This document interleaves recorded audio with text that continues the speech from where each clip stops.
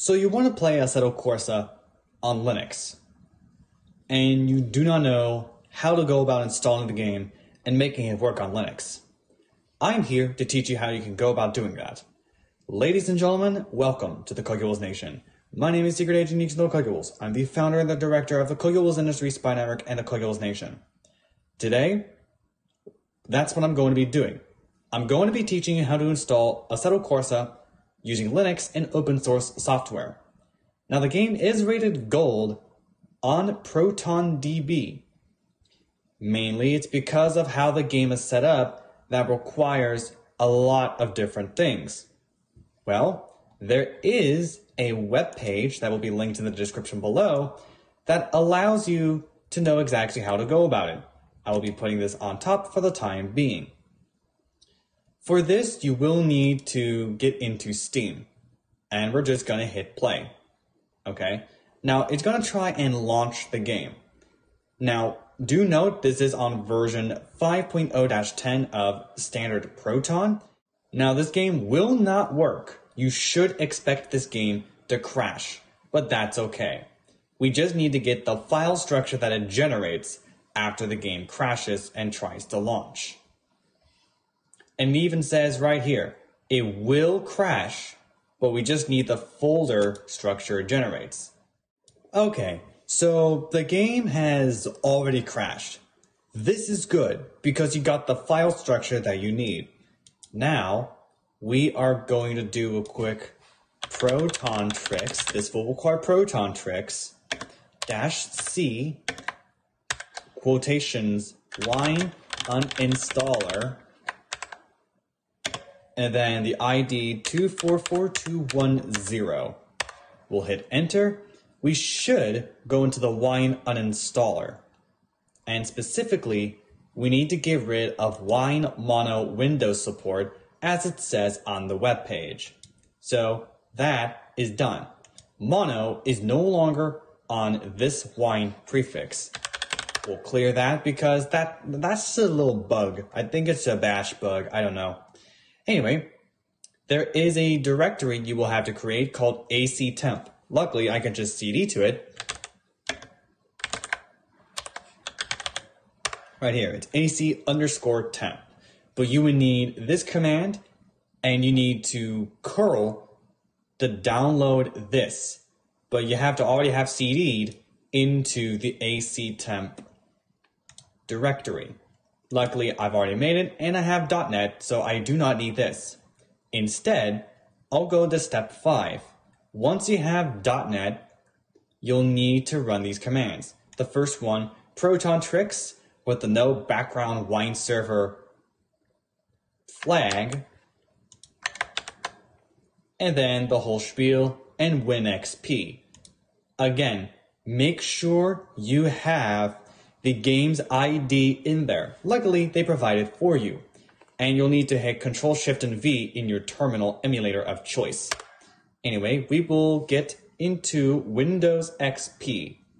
Now, obviously, they're gonna try and say, yeah, your version of Y is no longer supported upstream. You should upgrade, blah, blah, blah. No, I'm fine. This is actually required for us to play Assetto Corsa. At least the base game. There are going to be a few extra steps you'll need for the Content Manager, and I'm also going to get into the Content Manager and the Custom Shaders patch.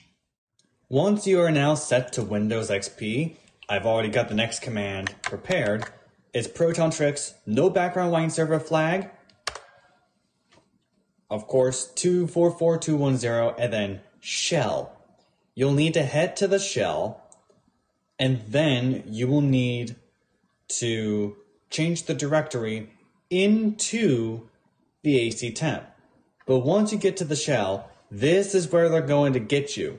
Okay, so now that we are into the shell, they're going to try and get you here. So you'll need to do quick cd and then hyphen, which will bring you to wherever you've done that command.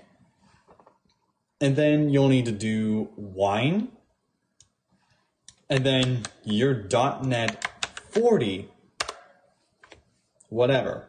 So now this will be installing .NET 4.0 offline. So this is going to take a little bit as well. That will be the same thing with the .NET 4.7.1 install that we will be doing here in a minute. Actually, while we are on the subject of .NET, you will see later you're also going to need this .NET here, which is for .NET 4.7.1, as I have alluded to. But if you have no access to the archive website, well, don't worry. Just search for it, .NET 4.7.1, search for that, and then go to .NET.microsoft.com, and you'll be able to download .NET Framework 4.7.1. Now, I already have the runtime offline installer. So that's all you need. Click that, and then you'll be able to place it into your AC temp file. Again, you'll need to place it right here. You have created this file in your home directory, so just place it in there, and you should be good to go. And you will need to do the same process after you install .NET 4.0 with .NET 4.7.1, but there are a few other things that you're going to have to do as well. So now that .NET 4.0 is installed, you will need to do exit on your terminal. That part is done. Now, they would say to do this massive command, but you've already downloaded .NET 4.7.1, at least this exe here, which will be done later. For now, we need to do Proton Tricks Windows 7. That's what the Win 7 flag is. Or rather, the Win 7 option. Again, it's without the wine server background because it's supposedly going to slow down the use of wine a significant amount. This should make it easier. Now, we're not done just yet. We're only getting to Windows 7 at this point in time.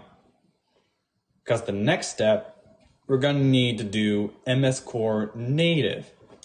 That flag, if I'm not mistaken, has to do with the MS Core fonts.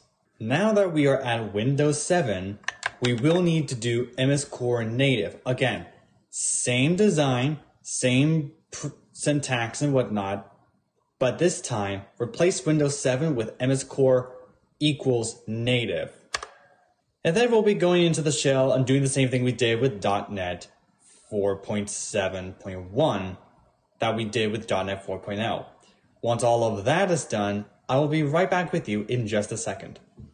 Now that .NET 4.7.1 is installed, and you've exited the, the Windows shell and Proton Tricks, we're going to be combining these three here. Here's what I mean. I'm going to control C this first command here, and this is to get the visual re code redistributables 2015 version. We'll then do D3D compiler underscore 47, which will install D3D 47, I think, which is, I think it's just D3D 4.7. And then we'll get that to Windows 10. So we're going to run all of that at once. And once that part is done, I will be right back with you in just a minute. So now that everything is installed for the vanilla game, since I have Content Manager, I will quickly go through how to get the Content Manager working. First things first, you need to make a directory to the Steam config in your Proton prefix for Assetto Corsa. I actually brought in the backup prefix that I made, so we don't need to do that. You'll need to download the content manager from here. Again, this article will be linked in the description below, so you can do that. You'll need to extract it to the local files, and then you'll need to make it to contentmanagersafe.exe to disable the hardware acceleration in the UI. You'll need to do this here to set the launch location for your content manager. And then you'll want to get into the file in which actually has Assetto Corsa in it. And then you can launch the game. Now that the content manager is set up, you'll need to do Proton Tricks C Wine CFG 244210.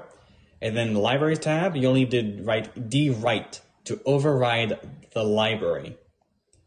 And then you'll need to get that done.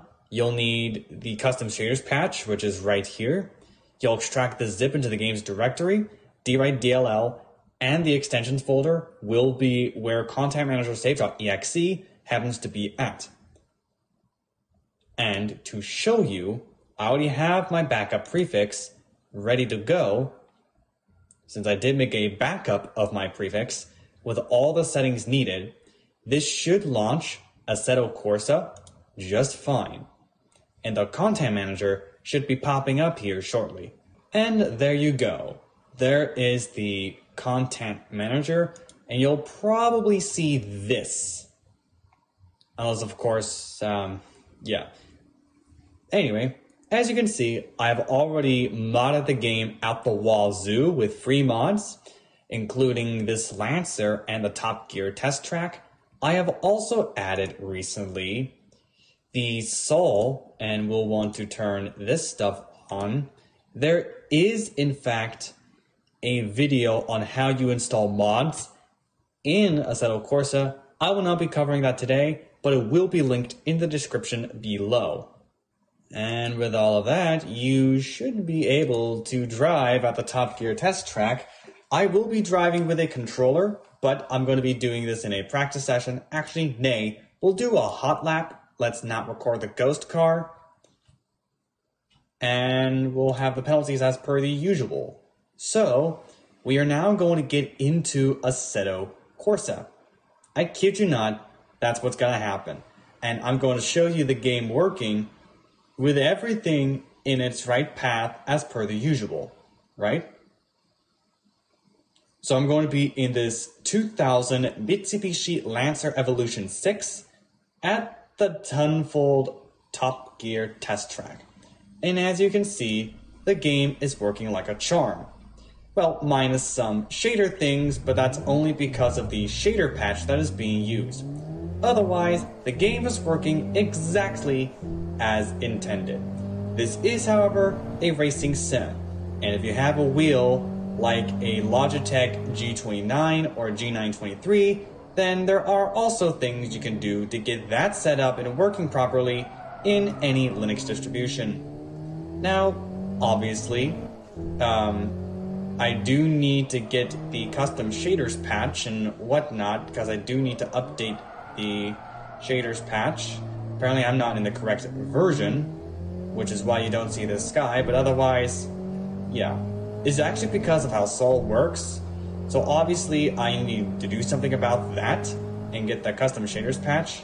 But otherwise, this is working as intended, and I'm I'm not that good on a controller, which is why it's better to have a um, wheel with force feedback. But I thought I would demonstrate it for you. I will be doing more like this once I get this set up, and that will be done next week. So be on the lookout for a video of me playing Assetto Corsa on Linux Mint. That said, if you'd like this episode and want to see more like this in the future, you can do this one of five ways. You can hit the like button to show your support to the Cocules Nation, hit the subscribe button to become a member of the Cocules Nation, hit the bell icon to be notified when new episodes arrive every Thursday afternoon at 2 p.m. Pacific Standard Time. You can also comment on all of our videos and share this channel with your family or friends. Did I mention to ring the bell once you're subscribed? Yeah, that will give you a notification into when we post a new video every week, as I said, at 2 p.m. Pacific Standard Time on Thursdays. So do check your local time to know when the next video comes out. That being said, ladies and gentlemen, I am out of time for today's video. Thank you, and good night.